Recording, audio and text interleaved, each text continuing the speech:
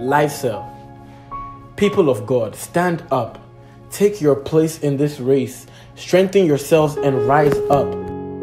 For God is jealous for you. Just like the body consists of cells, so does his body, the church, consist of life cells. You sit in a row, sing in church, raise your hands, but what do you do in his house? What part of the body are you? What battles have you won recently?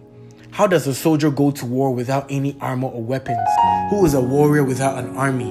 You are a pew warmer, a guest not sitting at the table of the king, not dining with the ruler of the universe. Your life is as precious as if you've got a handful of diamonds. That's how precious you are to him. If you are not in a cell, you are not in the body.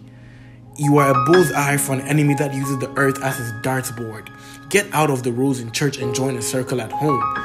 You can be the missing piece of a master plan to do something great.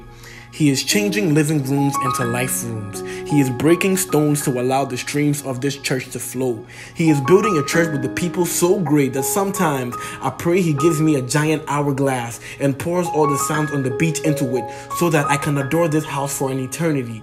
We are building this church from these living rooms. Life cell. Living in fullness every day.